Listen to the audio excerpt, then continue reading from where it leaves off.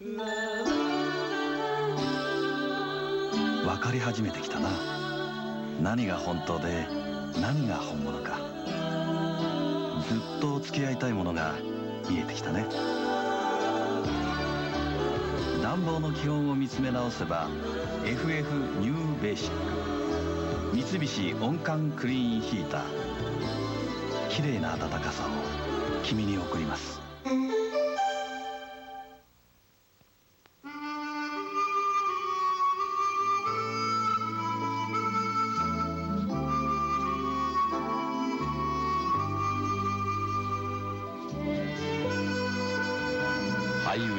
ウエストデザイン際立つシルエット。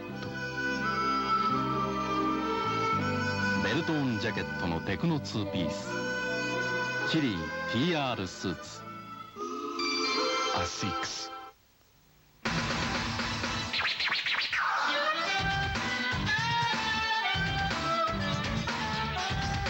私のイマジネーションを限りなく膨張させるやつがいる。高画質37型。これぞ大画面。なるほど。感動は画面の大きさに比例する。大画面は三菱。7回の裏チーム打率2割8分2厘の打棒が爆発しまして一挙に5点。10対3になりましてピッチャー香取を送っています。さあいよいよ8回9回になりました中日。コマーシャルです。ああ寒い時に限って灯油切れ。三菱ファンヒーターなら大丈夫ですよ。センサーの働きで灯油の量を見えるようにしました。はあ残りの量がわかるのね。灯油を補給してください。これなら大丈夫だね三菱の温感ファンヒーターランファン。さて発売以来すっかりおなじみのはい。薬用育毛エッセンス。はい。ミニササニシキエキス配合。はい。その他このような有効成分が入っておりまして。スポイトでつけて軽くマッサージ。もみもみすれば地肌に潤いを与え髪によし。で薬用育毛センスは？もみもみいやんもとい。資生堂です。さあ高橋さんこれであのサンチェが中継ぎはい。香取が締めくくりジャイアンツのパターンですね。そうですね。もう最近はこのパターンが多いですからね。さあ迎えるバッターは落合です。1打席目2打席目どうも合わなかったんですがついに3打席目桑田からレフトへ豪快なホームランを放ちました26号。ホームランの方はちょっと届きそうもありません。打点の方で実は高橋さん今日はクロマティが3打点で90、あ85そうでね。ポンセが89ですね。ね。はい、2位に上がりましたね。可能性ありますね。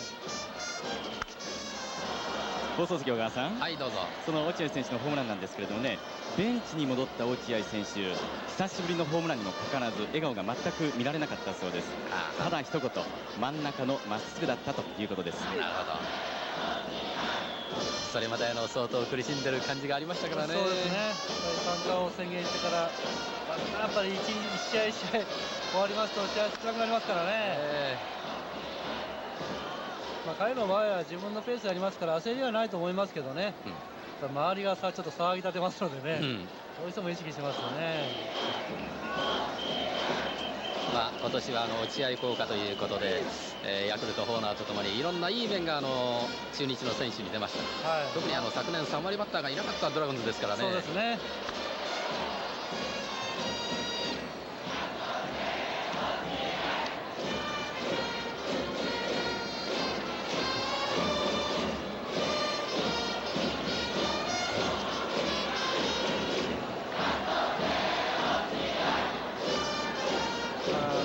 三冠を取れば優勝するって言ってましたけど、ええ。そうかもしれませんね。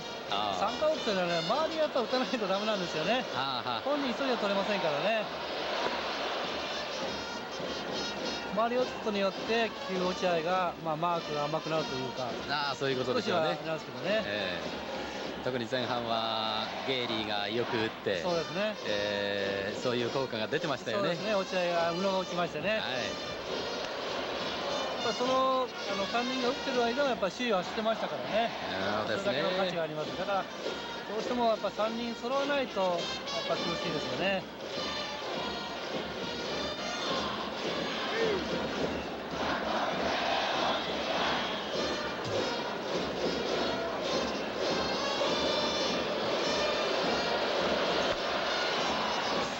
サード原ダッシュ一塁はランニングスロー間に合わない落合の4打席目内野安打です。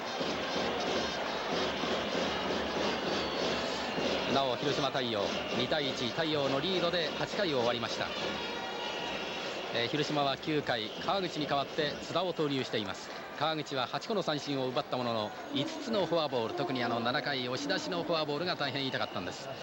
えーしかしこれで川口の奪三振がリーグトップの8になりました、えー今日桑田が取って第2位。142小松が141というところです。それから首位打者争い。正田。あついに4打席ヒットがありません。セカンドゴロファーストゴロファーストゴロサードゴロ。ゴロ4つでヒットが出ていません。さあこのままいきますと桑田が勝ち投手ということになって小松と並ぶ14勝目になります。大きいですねこの1勝は。そうですね。無理をしてね出てきてやっぱり勝ち星を勝つとね。まあ本当ならこれで負けるとがっくりきますけどね。そうでしょう。勝ち星は桑田にとっては大きいと思いますね。おっと中畑。一旦下がってまた前に出ました。フェアグラウンド。それから防御率の方も桑田点を取られましたがあ心配ありませんね、えー小松も打たれてますねこれで桑田の方はこのままいきますと勝利がトップに並んで14勝防御率も第1位安泰ということになります。中畑の守備です。昨日3つほどエラーしましてね、まあエラーにはならなかったですけどね弾きましてね。今みたいに 頭下げてましたけど 今日もやってますね。小川さん、マウンドを降りました小松投手ですがあねーどうでした？今日のピッチング肘の痛みは投げている時は感じなかったそうなんですが全力で投げることができなかった、たまに力がないからダメですねということなんですが、現在はあの肩と肘を氷で冷やしておりましてもう肘の痛みについては明日にならないとわからないでしょう、まあ、淡々とした表情で話していました。なるほどねうん、確かにあの高橋さん途中でおっしゃったように明日になって出るんですね。そうですね。明日以降でしょうね。特に肘の場合はね本当休ませないとダメなんですよね。だからあと何日休んで出てこれるかってことでしょうね。うん。まあ大事な試合が続きますがそうなると登板間隔があ一塁今ベンチに戻ってきた桑田です。登板間隔が空くと小松の最多勝もかなり厳しいですね。そう厳しいですね逆に言えばあの桑田が今日勝ったことでならなりましたからね、えやっぱり桑田の方が若いですからね。これからもやっぱり優勝してからでもほうと思いますのでそうでしょうね。えー可能性出てきましたね。問題は今度は太陽のエンドですはい。それがやっぱり勝たせるためにエンドに勝たせるために太陽がこれから重点的に使えますからね。そうでしょうまあ、バックアタにとってはまあ前半戦引っ張ってきましたからそれからいい印象を残しますとあの月間あの年間の MVP も勝ってきますのでそうなんですね。一戦一戦が大事になってきますよね、現在13勝ですがこのままいきますと並びます。さあ2エンドワンからこれもちょこんとバットを出してファウル一塁にはサード内野安打の落合がいます。こうしてみると中尾の4回のおあれは同点に追いつくホームランでしたよね、それからジャイアンツの方も吉村がツーランを連発しましたがなんだか途中で前半の活躍が消えちゃいましたね。そうですね。まあ、殊勲者といえばね吉村だと思うんですけどね。でもこんなに点が入っていますと誰を押していいか分からなくなりましたねまあ巨人にとってはいい材料ばかり出てきましたね。あ打線が活発になりますからあとは投手力はある程度計算できますのでね、えこれからの展開がもうすぐ楽になりますよね。で広島は連戦続きますけど、巨人の場合は連戦ありませんのでね、調子のいい投手だけを吸い込めばいいですからね。ジャイアンツの方は今日16安打を放ってるんですが4試合ぶりの2桁安打ということになります。ピッチャーの足元抜かれた香取センター前に。中尾が今日3本目のヒット。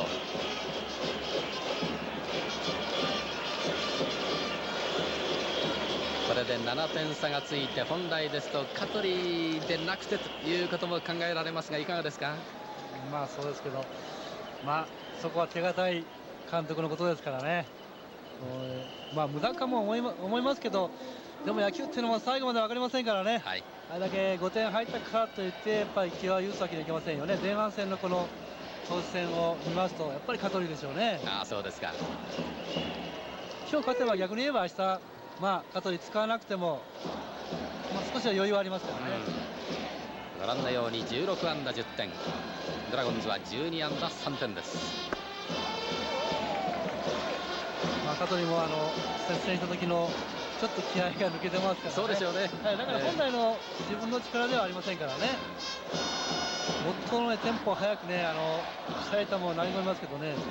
今日割とゆったりしてますからね、あ。ちょっともう燃えてこないんじゃないですか。なお広島津田が出て9回の表太陽0点です。さあゲッツーコースか河野が二塁へ送っただけコースアウト。ツーアウトです。えー、なお広島9回の表ツーアウト一塁二塁からバッターは太陽ピッチャーの松本。ライト前打球は落ちたんですがこれがライトゴロとなりましてこの回は無得点というああ広島危なかったんですね。えー、この試合の模様は一部の地域を除いて放送時間を延長してお送りいたします。今夜の金曜ナイター一部の地域を除いて放送時間を延長してお送りいたします。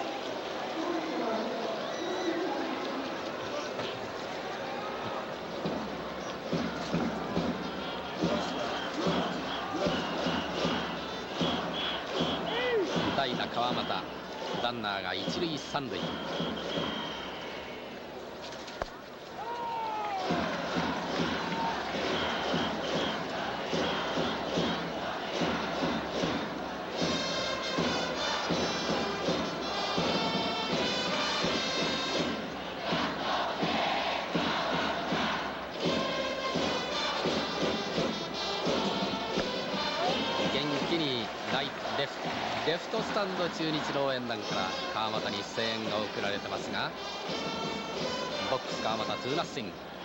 ツーアウト一塁三塁。川本も今日はあの松崎変えられましたからね。そうなんですね。少しは意地を見せないとこれからの試合。ああ決まった。山三振。8回の表中日第三塁点がありませんで10対3あ香取がランナーを出しながら切り抜けましたですね。今日は本当に前半はまあ投手戦ではなかったですけどね、ええ、一応接戦しながら一喜一憂しましたけど後半のあの5点でちょっと中だるみ後半ちょっと余裕持ってますけどね、巨人の場合は。そうですね。中日はちょっと諦めが早かったんじゃないですかね。おどの辺ですか？そうですね、やっぱりあの江本あたり、あの、えー、まあ、普通ならワンポイント、左だけで終わると思ったんですけどね、えー、まあ、あの右ピッチャーまであ、右バッターまでにつないだあたりで、まあ、江本も確かにあの右バッターも抑えるつもりでいたんですよね。で打たれた時にベンチに勝った時にグラブ投げつけてましてね。あそうでしたか。えー、悔しがってましたよね。それであの右のあの宮下に変わりましたけどね。なるほど。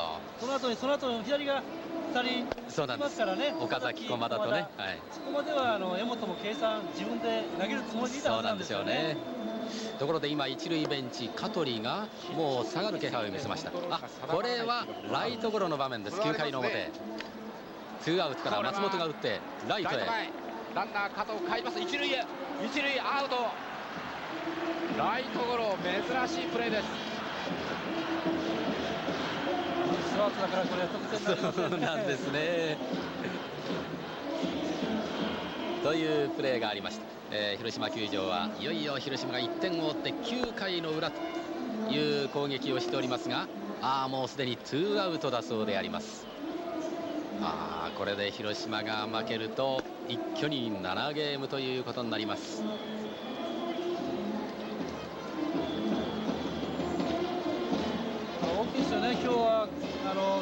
牧原が先発予定ですけど、ええ、急遽疲れが取れた取れないということで桑田に変わりましたけどね。桑田が出ました、えー、でも桑田にとっても大きいですよね、うん、やっぱり体にあのちょっと疲れてますから本来の調子ではなかったですけどね。先日打たれてますのでやっぱり今日中日戦に勝ったということは今後にとっても最多勝も狙える立場になりましたからね。そうですね、えー、嬉しいでしょうね。はいまあ、確かにいろんな意味で巨人にいい材料、いいあの結果が出ました。そうですね。あ、これはブルペンで投球練習をする2軍から上がったそうですね、鴨川。そうですね、こういう場面いいでしょうね。はい。まあ、敗戦処理ではありませんしね。多分あの香取がもうロッカーの方へ向かったんで変わるかもしれませんね。はい、さあこれから試合は8回の裏7点差がありますジャイアンツの攻撃、えー、原からという打順でありますピッチャーは4年目 Y 高横浜商業出身の三浦が上がっております。この放送は技術が作る高度な触れ合いソシオテックの三菱電機。小林製薬山陽商会。アシックス資生堂の提供でお送りしました。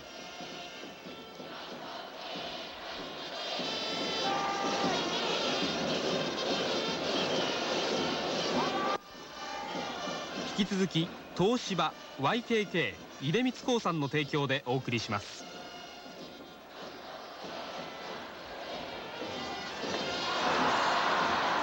いや今日の原どうしたんでしょうね。三球三振です。そうですね。2, 2打席続けて三球三振ですからね、ね、ちょっと元気ないですね。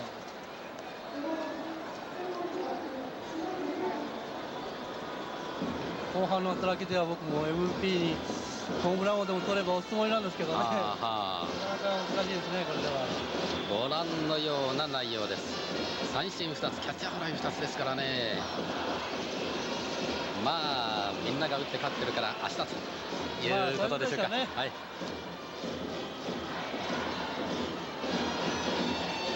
さて篠塚1、2打席ヒットが出たんですがその後サードゴロショートフライ逆に中畑がヒットを打ってちょっと差が開きました。でもこの1本が大きいんですよね。やっぱり首位打者取るのはもう最後の打席無駄かもしれませんけどね。そうでしょうね。はい。だから先ほどのあの山本の1球目打って簡単な内野フライ。あれもったいなかったですね。ああ4回ぐらいの粘りがあればフォアボール1つぐらい選びましたからね。そうでしょうね。完全なボールですもんね。はい。さてマウンド上三浦注目してみましょう。今シーズンはまだ4試合目の登板なんです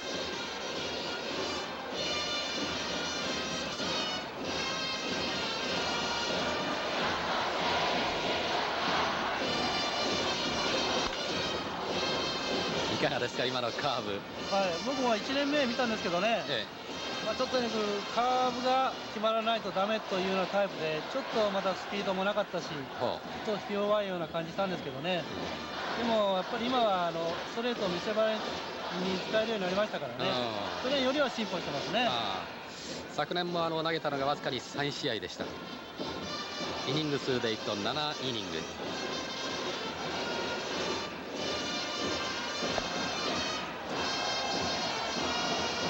まだまだあの若々しいというか形がまだ出来上がってないといいますかね、ね、まだやっぱりストレートにちょっと威圧感がないですからね、うまくカーブでカーブではかわせると思いますけどね。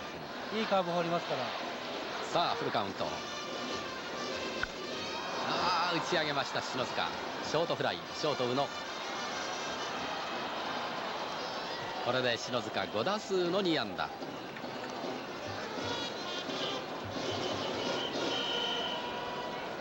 そしてピッチャー香取のところに代打石井を送りました。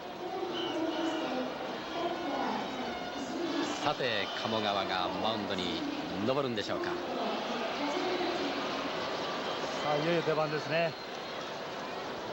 ジュニアオールスターで100万円取りましたからね。そうなんです。僕見てましてね。はい。本当にいい球放ってましたよねちょうどだから広島で直後僕も1日遅れて広島へ20日の日ですか、向かったんですけどちょうど飛行機で一緒になりましてね発出する機会があったんですけど最近はちょっとああいういいテンポで放れるのかって聞いたらもう大丈夫です。って言ってましたからね。昨年までずっと一緒でしたね。はい。それでね彼ちょっと色が白いもんですからね、ええ、もう練習してるのか分かんないとかあるんですよね でも今年は随分あのそれこそアリゾナ行く2日前ですからね。ああそうでしたね。と入れ替わりましてね、斉藤がアリゾナ行きましたけど。その鴨川がどうやら9回出てきそうです。バッターボックス石井サード落合真正面。原が三球三振篠塚ショートフライ。代打石井サードゴロ。3人で終わりました。さあ広島の方が試合終わりました。カープ敗れましたしかし太陽がカープに頑張りますね、えー、前半戦はね11連敗ですか、はい、がもう最近はもう本当、すべてね、勝ってますからね、え。ー、いよいよ9回の中日の攻撃に入ります。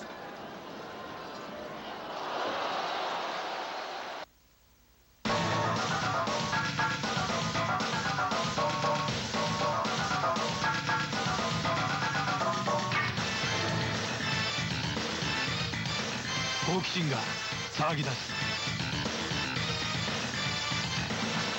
会うたびに新しい東芝ルポ。自動救出装置がついた 70GX と大型画面の 90F 東芝パーソナル OA ガラスとガラスの間にブラインド。これが YKK の新しい窓ウィンキー光と暮らしについて考えると窓はこうなります。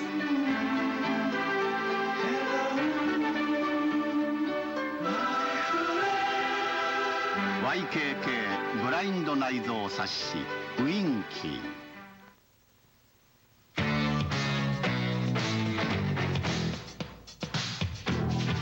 全てはこの廃浴で完結する。ハイパワーリフォーメイトプラスアルキレートの高性能100億単新加速体験出光100ガソリン新登場。新しい加速の形です。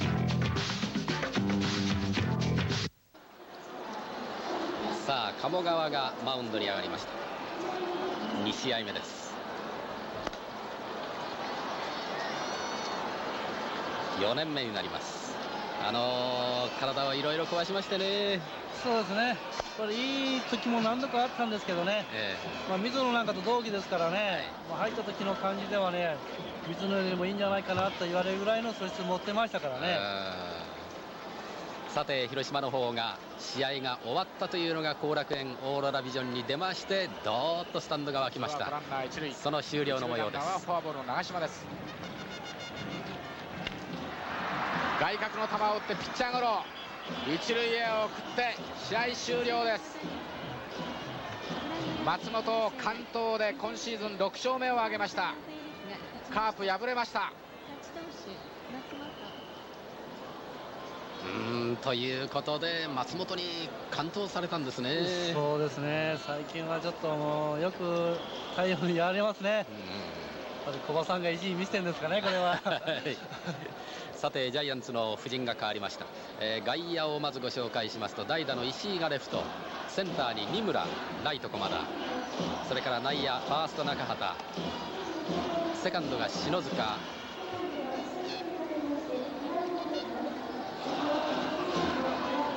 らあ河合が今入ってますね、えー、サードに原。そしてショート岡崎です。さあ鴨川のピッチングです。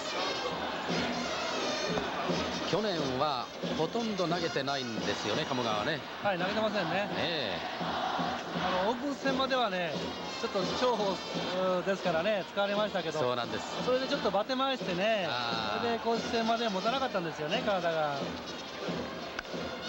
あ大島が打ち上げました。ライトへのフライ駒田ですしかし今年の春のオープン戦で非常にいいピッチングをしましたがね、えー、なお今夜の金曜ロードショーはナイター中継が終わり次第お送りいたします。金曜ロードショーはこのナイター中継が終わり次第お送りいたします。さて鴨川のホーム。ここであの右足をポンと。そうですね。あこれあんまり蹴ってませんね。投球練習で随分蹴ってましたがあの北別府の真似をしてみようということで今年から始めたそうですが。コントロールいいですからね。それで今年からあのスピリットフィンガーを覚えましてね。それでその球がね本当にいいところで決まるんですよね。特にあの左バッターの時には有効ですからね。あそうですか、はい、どうしても去年までは左の時ちょっと苦しんでましたからね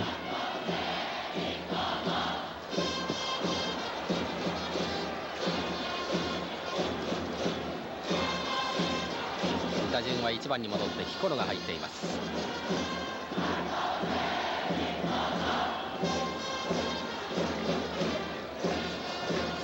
なお広島太陽勝った太陽の松本2安打。そのうち1本がランスの36号ホームラン。2安打完投ですね。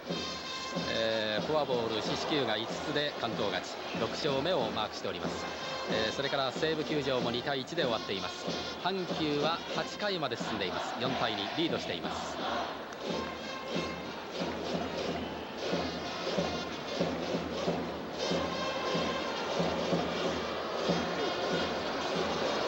今ファールの打球が一塁ベンチに飛び込みました。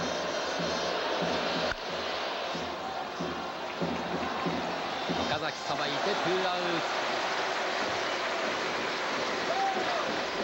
先発桑田2番手サンチェ3人目香取そして今マウンド上鴨川であります。中日の方は小松肘の痛みが癒えて登板ですがまっすぐ速いボールが来ませんでした。その後江本宮下三浦とリレーしております。あの14勝目、えー、目前の桑田が今ベンチであります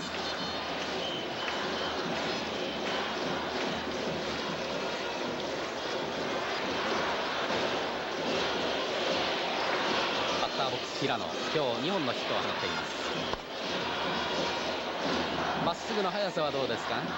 まあ、もう一度でしょうね、あのジュニアの時は本当に思い切って放れましたからね、して放ってましたから、もう少しスピードあったんですけどね、やっぱり変化球を下に放ってますので、もう一つスピードが出てませんけどね。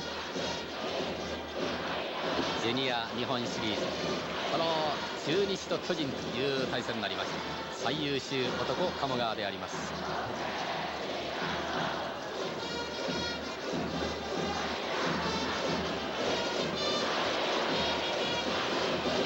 広島戦には出番なかったですけど、早い回に出番があってよかったですよね。ほうほうまあ、もちろんこれからもちょっと余裕がありますのでね、ありますけど、あの接戦で来るときに、仕方なしに使えるような立場じゃなくて、こういう時に1回放りますとね、そうでしょうね、うん、次の登板がずいぶん気が楽になりますからね。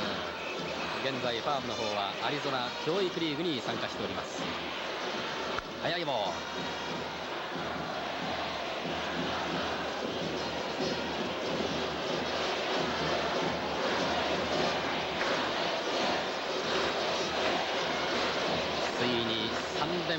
いうことになりそうです、中日。3連勝狙ってきたんですけどね。そうですね。これで夢は消えるんでしょうか、ドラゴンズ。ツーアウトランナーなし。若い鴨川。平野にまっすぐ。右中間へ行った。ワンバウンドヒット。二村がこれをちょっと落としました。平野一塁を蹴って二塁へ。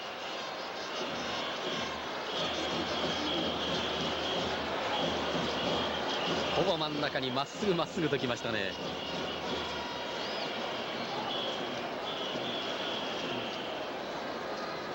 まあ、ツーアウト取りますとね、どうしても もう早く終わりたいという気持ちありますので、僕も分かりますけど、やっぱり早いカウントで勝負いきますよね。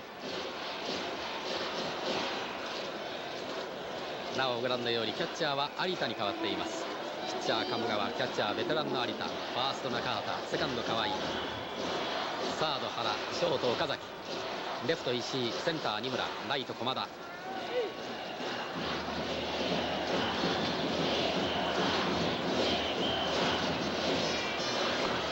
ーとインコース。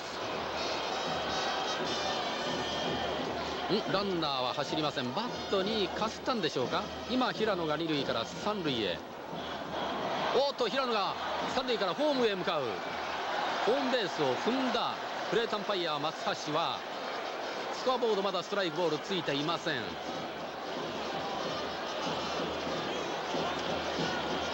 単なるパスボールかバットをかすったんでしょうか？バットに当たった感じはなかったですけどね。でもやっぱ一番近い人が分かりますのでね、えー、大人がしたのかもしれませんけど。これです。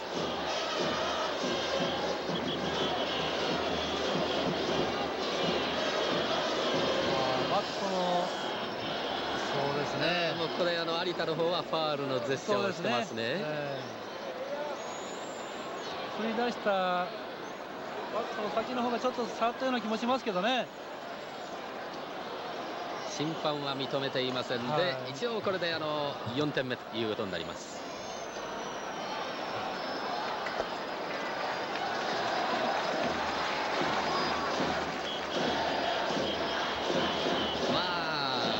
点差があります。これが本当接戦だったら大変ですけどね。ここはもう余裕ですねしょうがないだろうということで。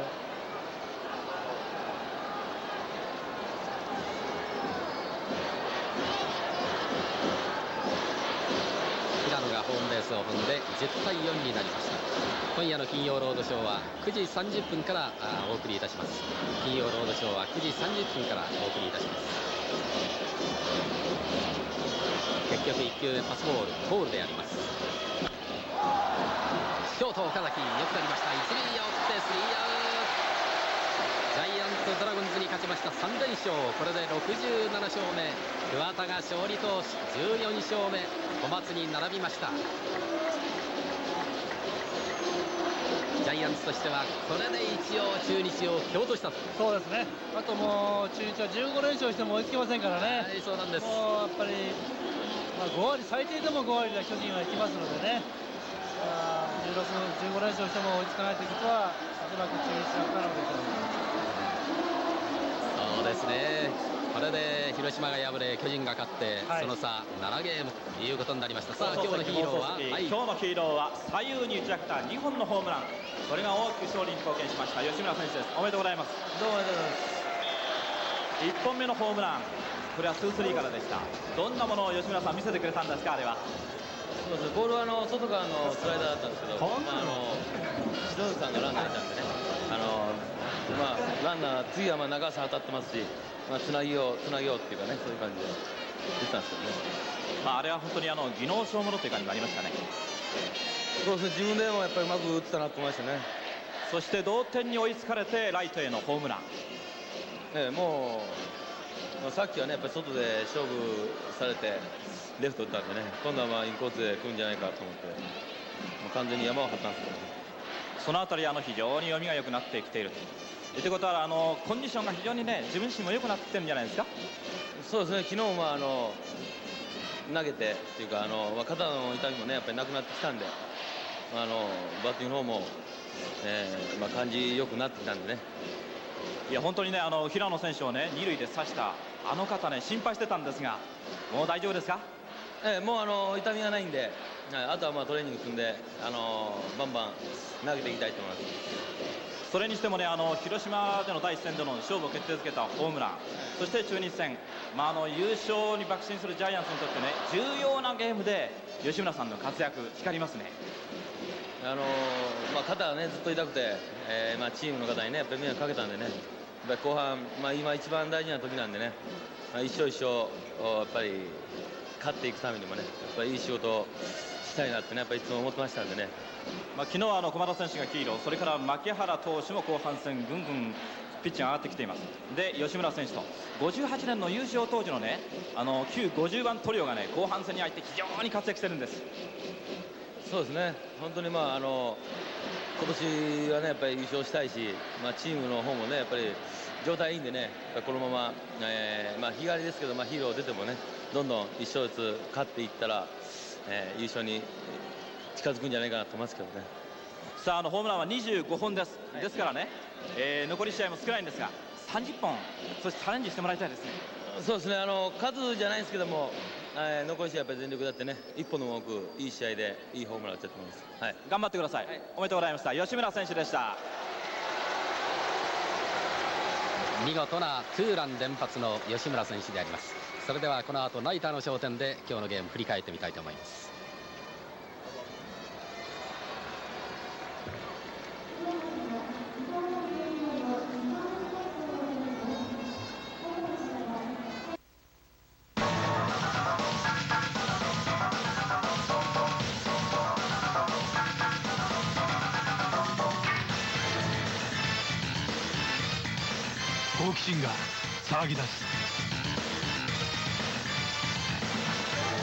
たびに新しい東芝ルポ。自動救出装置がついた 70GX と大型画面の 90F 東芝 Personal OA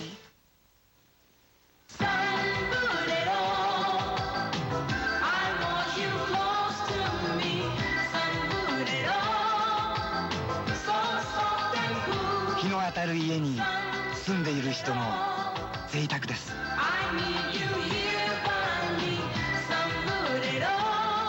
日差しにもう一歩 YKK の可動式日よけサンブレロ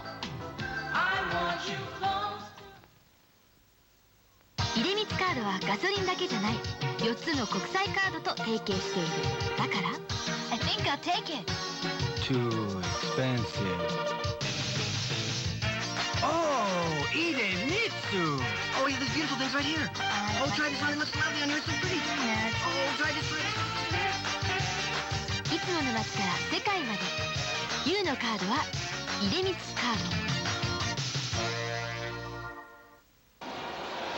あ今ヒーローの吉村選手がロッカーに向かうところです。さあそれでは早速今日のーゲームビデオテープで振り返ってみたいと思います。立ち上がり小松桑田。桑田の方が速いボール。小松の方はちょっと抜いたボールが多かったんです。2回先頭の篠塚。センター前に持っていきます。徹底したこの辺は外角攻めでしたね。そうですね。そして吉村。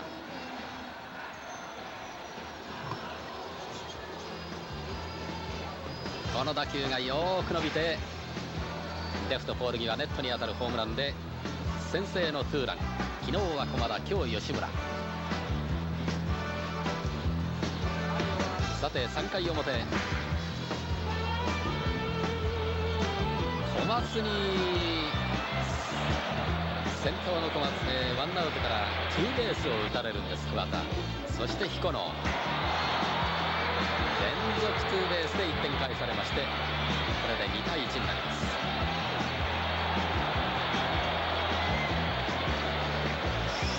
そして4回に中尾が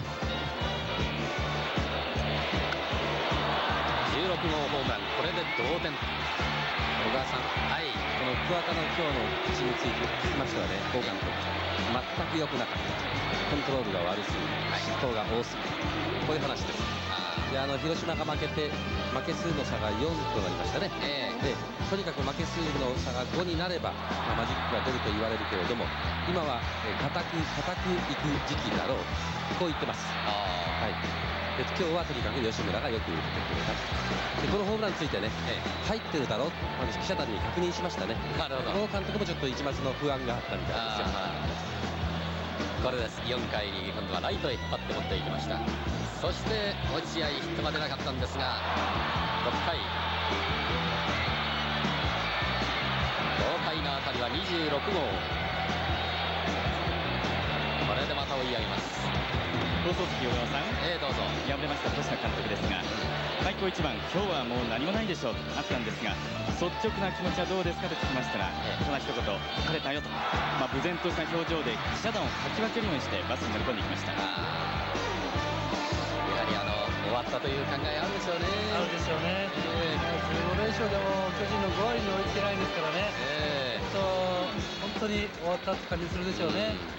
さあ大量点が入った7回ですワンアウト満塁から岡崎。ダブルプレー崩れで点追加。その後駒田タイムリーヒット。二村がジャンプを呼ばず。今度はジャイアンツの二村センター前に。なおクロマティ一二塁間を破って2点タイムリー。これで10対3になりました。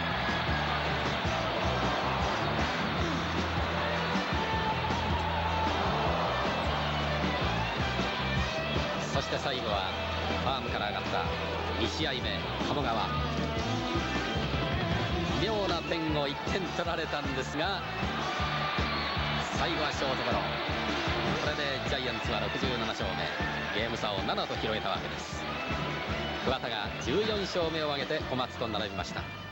さあそれでは広島の方のハイライトもご覧いただきましょう。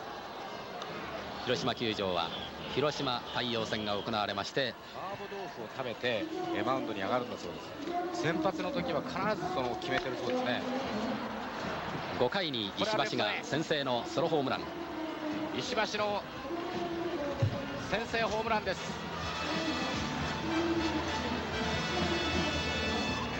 しかしその裏ランス第1打席はフォアボールですこれは快音が残った一直線か。入った。同点ホームランです。ランス36号ホームランです。松本打たれました。確かにね三振も多いですけどね。ここまではいい試合だったんですが7回です。満塁。おっとこれは明らかにボールと分かる球です。押し出しのフォアボールです。7回の表太陽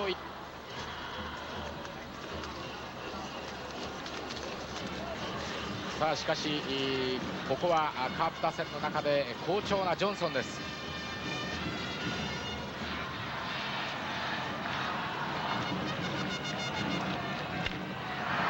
外角の球を打ってピッチャーゴロ。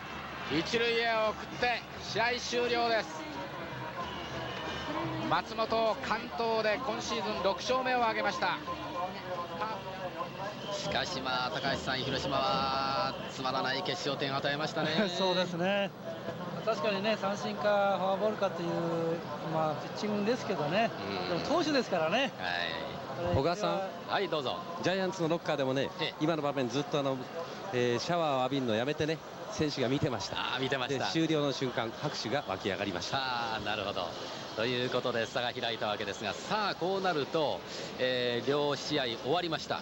残りジャイアンツが13カープが20ということで現在ジャイアンツ67勝です。まああー7勝6敗74勝ラインとしましょうか、カープが17勝3敗です。そうですね特にもう巨人戦に対しては一つも落とせませんからね。え。やっぱり苦しいでしょうね。特に今日のようなあの太陽戦をたくさん残してますからね。そうなんです、ね広島は明日明後日もあの土曜日曜太陽戦があります、はい。ジャイアンツの方は明日明後日阪神を迎えてこの後楽園で対戦するわけですがもう本当にぐーんと楽になったジャイアンツのお優勝ラインであります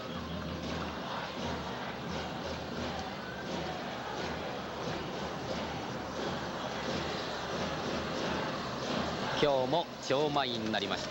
今年32回目新記録の大入り満員が出ました。さあこうなるとあとはジャイアンツも優勝目前でどういうことがあ必要ですか？そうですね。まあいつも通りの野球ができればいいんですけどね、これからまたあの30日から中日行きますよね。そうなんです。阪神戦終わってね、はい。その後に今度はあのまた後楽園戻ってきますからね、そのあたりで、まあ、まあ、いつもあとわずかというところで、最後に広島や福岡から乗り込みますのでね、そのあたりが遊びになればいいんですけどね。とするとこの日程広島の前で決めればと。そうですね、この広島の、まあ、最終的には広島あたりで決まると思いますけどね。この辺ですか、ええ。これでも一つでも勝てば優勝という盛り上がりになるんじゃないですかね。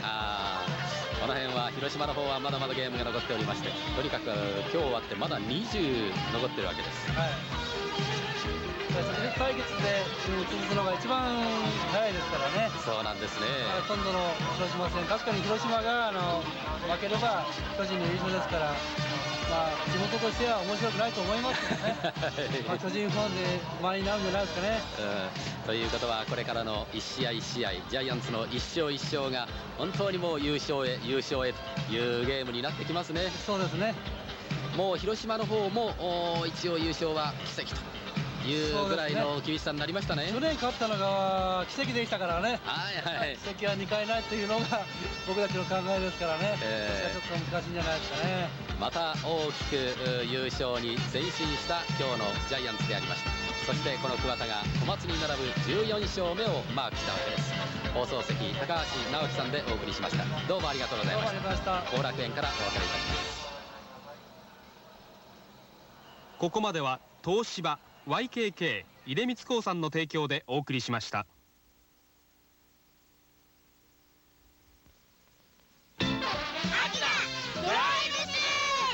今マクドナルドのドライブスルーに行くとマックポケットもらえちゃう。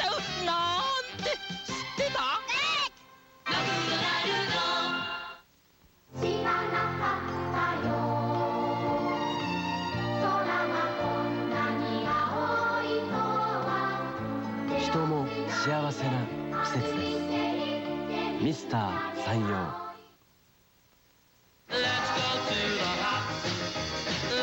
サウスカリフォルニアの初夏。